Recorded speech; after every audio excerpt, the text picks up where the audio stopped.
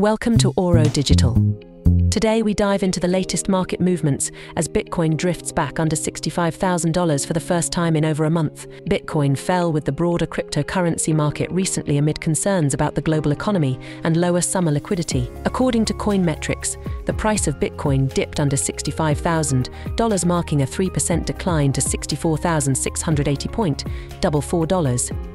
Earlier, it hit a low of $64,347.91.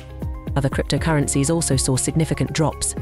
Ether lost 4%, Ripple's XRP was down by 6%, Solana's Sol slid 7%, and Dogecoin tumbled 11%. Economic conditions around the globe are weakening, geopolitical issues remain unresolved, and market activity tends to be thinner during the summer months. In equities, the tech heavy NASDAQ composite fell 0.1%, while the SP 500 remained little changed following weak US retail sales data for May. Shares of Coinbase dropped 3%, while MicroStrategy dipped 1%.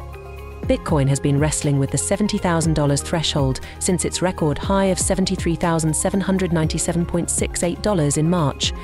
It's down 4% for the month and 9% for the quarter. While the market is facing turbulence, experts believe this period could present unique buying opportunities. Stay tuned as the crypto landscape evolves and new investment opportunities arise.